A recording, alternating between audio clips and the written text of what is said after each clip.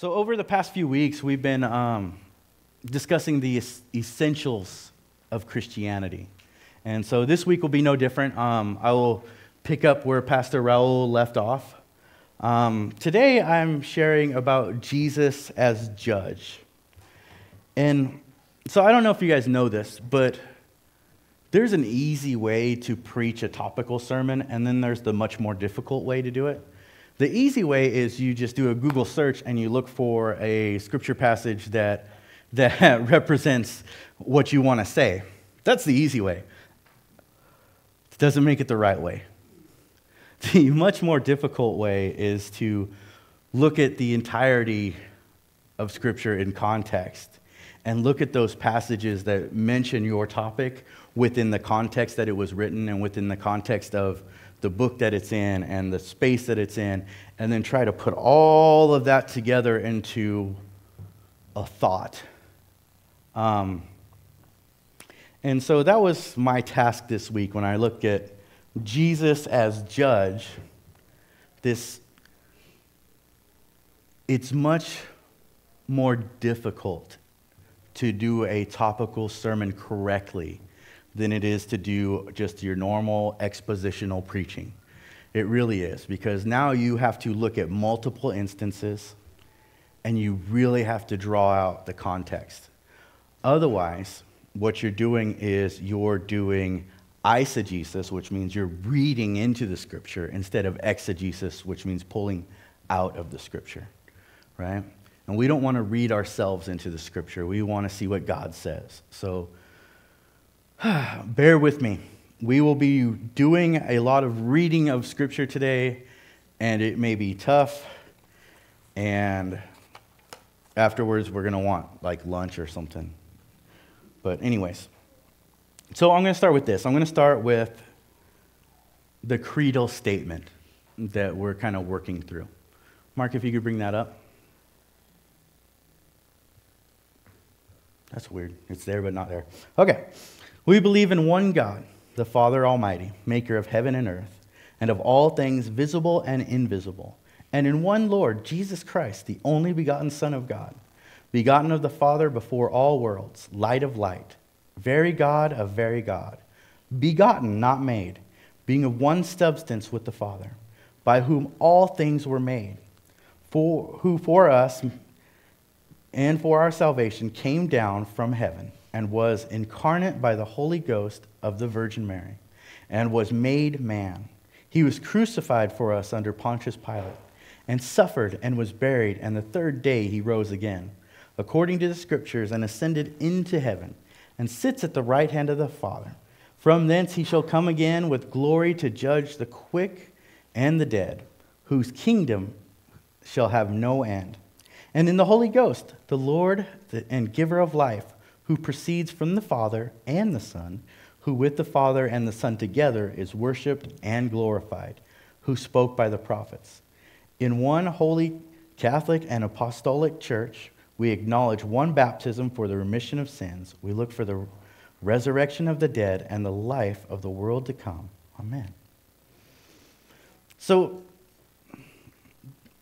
I was not going to read that whole thing, but then I was like, okay, so if, if our goal here is to kind of look at these statements, these essentials of what we believe, and I just pull this little part out that says, it says, from thence he shall come again with glory to judge the quick and the dead. And that's all I gave you guys. I gave you absolutely no context, which would be absolutely the contrary to what I just said about looking at things in context. So I gave you full context, which was still a lot to read. But, anyways, moving on. Easton's Bible Dictionary refers to the final judgment as the sentence that will be passed on our actions at the last day. The judge is Jesus Christ as mediator.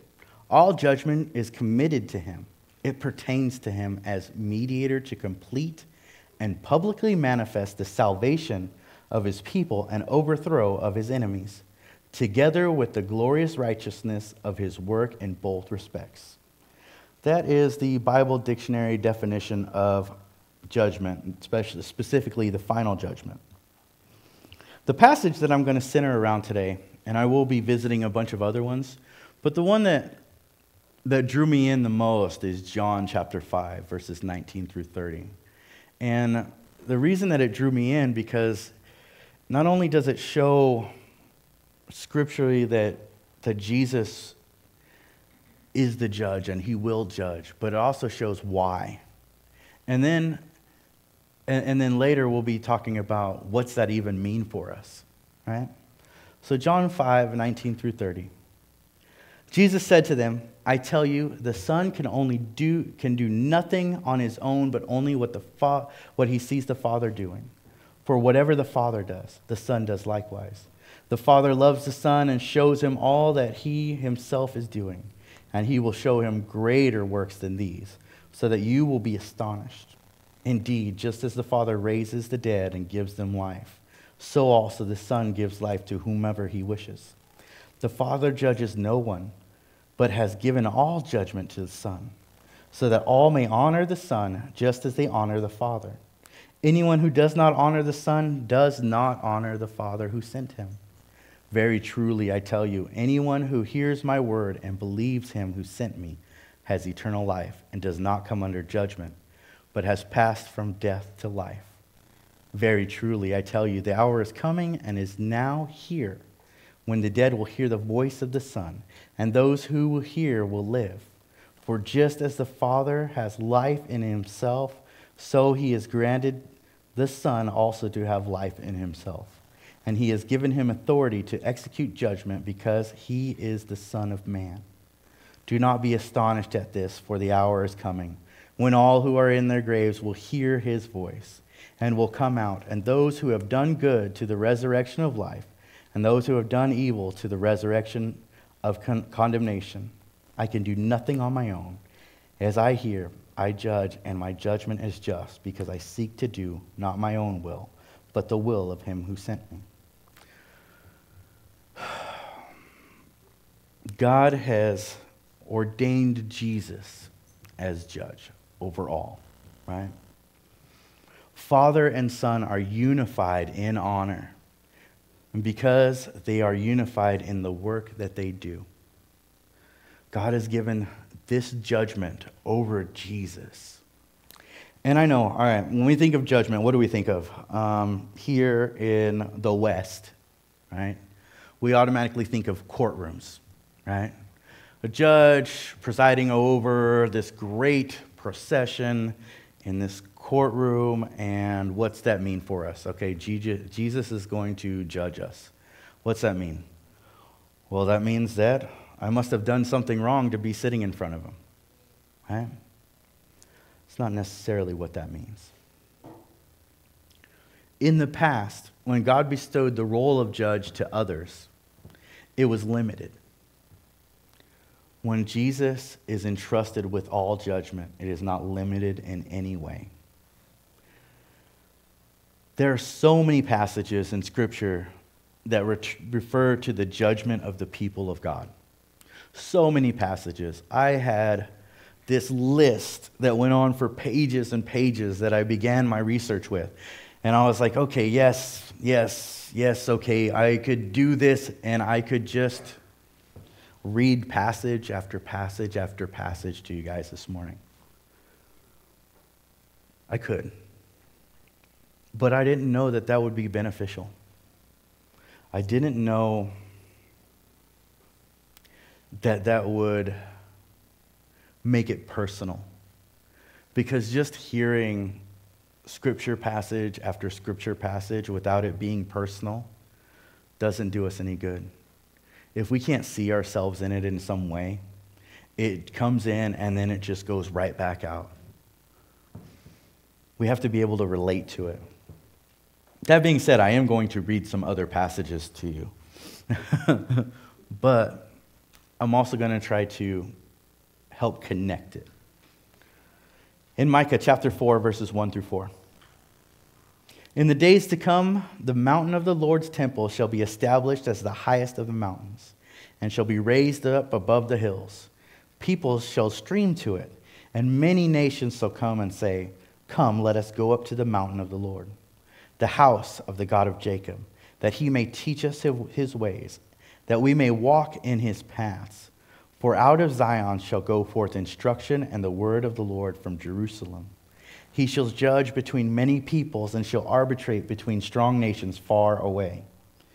They shall beat their swords into plowshares and their spears into pruning hooks.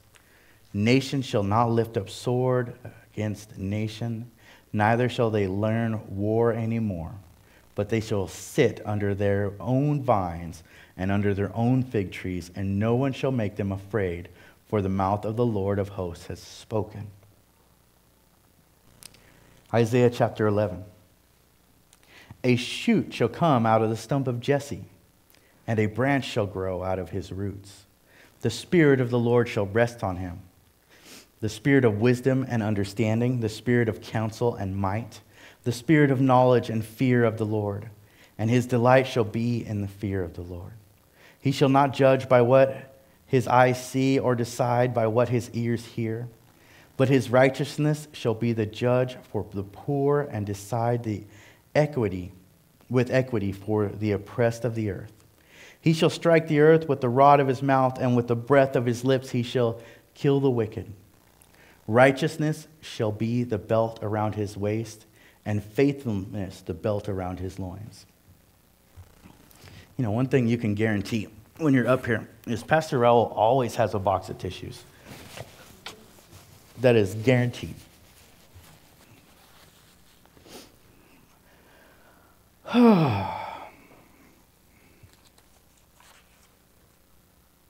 Acts chapter 10, verses 34 through 43. Then Peter began to speak to them. I truly understand that God shows no partiality, but in every but in every people, anyone who fears him and practices righteousness is acceptable to him. You know the message he sent to the people of Israel, preaching peace by Jesus. He is Lord of all. That message spread through Judea, beginning in Galilee after the baptism that John announced. How God anointed Jesus of Nazareth with the Holy Spirit and with power. How he went about doing good and healing all who were oppressed by the devil, for God was with him. We are witnesses to all that he did, both in Judea and in Jerusalem. They put him to death by hanging him on a tree. But God raised him on the third day and allowed him to appear, not to all people, but to us who were chosen by God as witnesses and who ate and drank with him after he rose from the dead. He commanded us to preach to the people and to justify that he is the one ordained by God as judge of the living and dead. All the prophets testify about him that everyone who believes in him receives forgiveness of sins through his name. We have all these passages, long passages. All of them refer to Jesus as judge, and they all refer where Jesus claimed the right to be judge over all, right? God gave it to him. God anointed him as judge. But all in all, what do we need to know? What does this mean for us? Passage after passage, scripture after scripture. Yes, Jesus is judge over all, and God made him that way. But what does that mean? How do we relate to it? What do we do? What do we need to know? Well, we need to know that Jesus is appointed judge over all and has been appointed that by the Father. And why do we need to know it? We must know this because no matter what we think or we believe, we will face judgment. Doesn't matter where you are, who you are, what you believe, we all will face judgment. It's guaranteed. It will happen. So, what do we need to do? The answer to that is simple. We must yearn for God.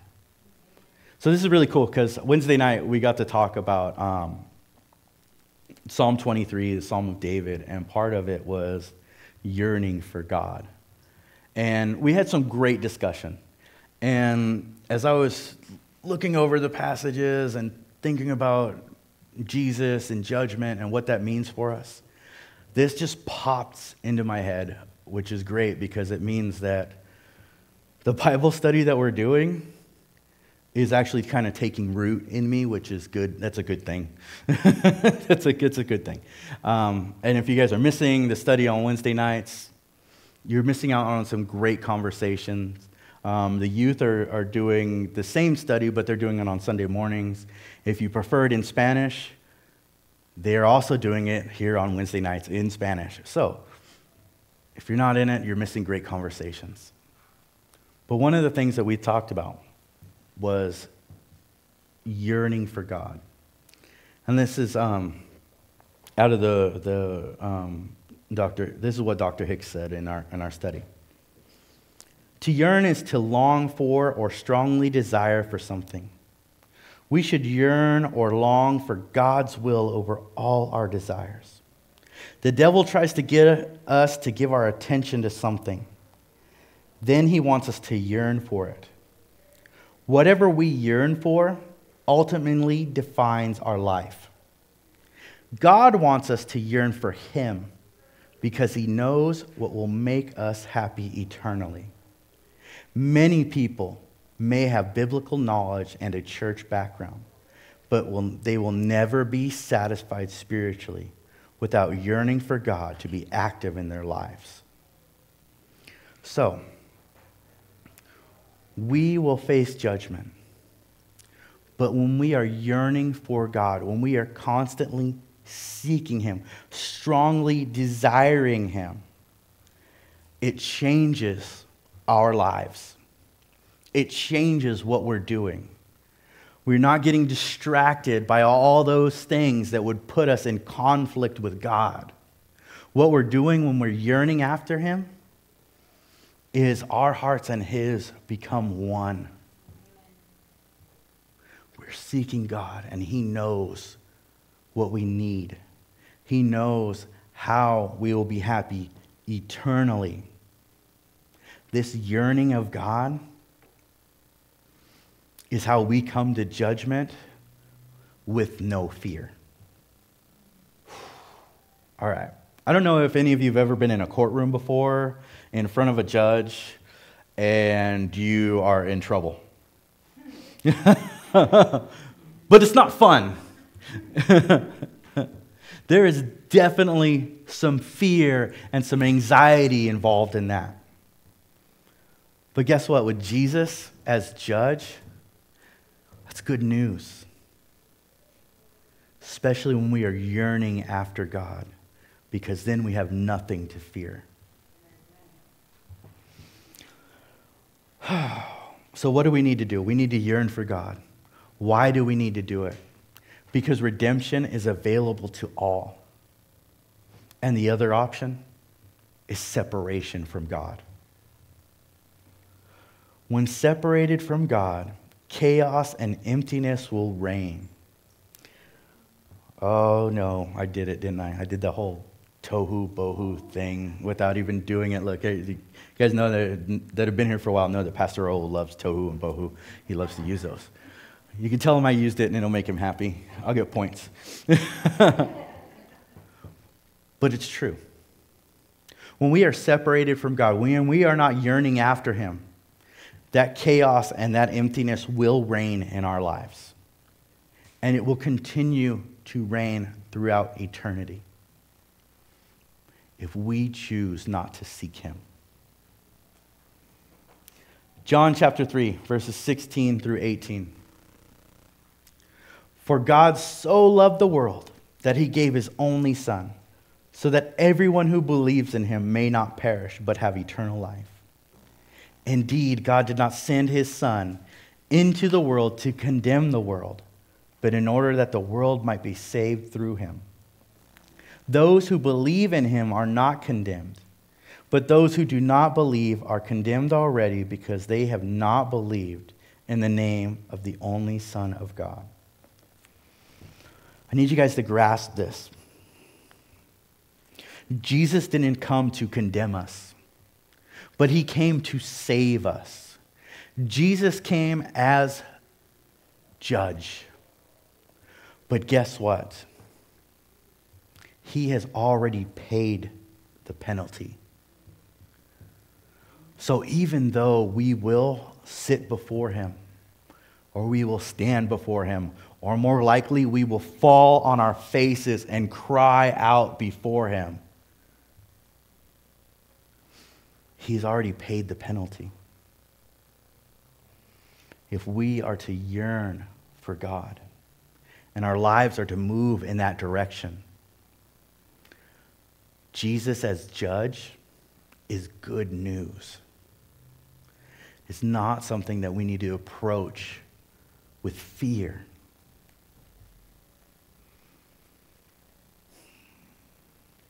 Scripture reveals that David failed at times, and he needed to repent and begin again. But he never stopped desiring to be like his heavenly Father and obey him. Because he never stopped yearning for God, he could write songs and poems about his experiences and share the goodness and mercy of God. David looked back on his life and said, Taste and see that the Lord is good. Blessed is the man who takes refuge in him. David had experienced the inner torment that comes from the wages of sin, but also the gift of eternal life. David continued to yearn for God throughout his life. He realized the taste of godliness was far more alluring than any yearning that Satan might bring. David was the greatest king that the kingdom of Israel had ever known. God's anointed one, his chosen and yet he failed at times. Absolutely failed. So much so that he realized that he needed to completely begin again. The example here is that when we fail, it's okay. We can begin again. Jesus came into the world not to condemn the world, but to save the world through him. Jesus is the ultimate judge that has already paid the penalty. When we mess up and we choose, like David did, to begin again and to seek after God and to yearn after God and to channel all of our strength and all of who we are into seeking God, it changes our posture with the world and with God. It changes who we are. It changes the dynamic of, of how we approach that day of judgment. Because guess what? I can approach it with joy and gladness because I have been chasing after God. I've been seeking Jesus, and now I stand before Him. I kneel before Him. And there's joy in it rather than fear. I told the, the worship team that I wasn't going to give them any code words or anything. So um, we'll just say code word. And, that, and, that, and that's time to come back up. Pastor Raul said it's not fun if I don't use a code word. So, code word is the code word. I've said code word. As we think about Jesus as judge and as we think about what that means for us, and as they play this final song, I want you to think about what you're yearning after. What are you chasing? What is the most important thing in your life? And I'll tell you what, where you spend the most time is the most important thing in your life. Jesus has paid the penalty. And I'll tell you, He wants you to come to that day of judgment with joy and gladness and not in fear. He has given us an opportunity for freedom if we would just seek it. Father God, I thank you and I praise you. I pray right now, Lord, that you would take all these jumbled words and that you would make something of it in our hearts, Father God. Father, I pray that you would help us to yearn for you. I pray that if today is a day that we need to begin again, that we would.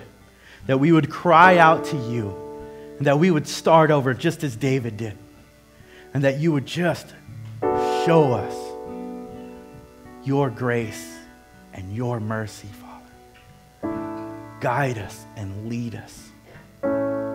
Thank you for what you're doing. I pray this in Jesus' name.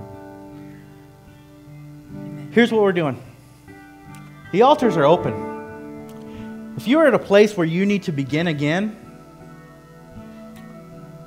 let's utilize a physical act of moving forward in prayer and beginning again.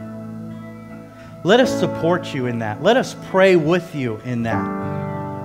Let us change what we're yearning for and approach the throne of grace, the judge that has already paid the price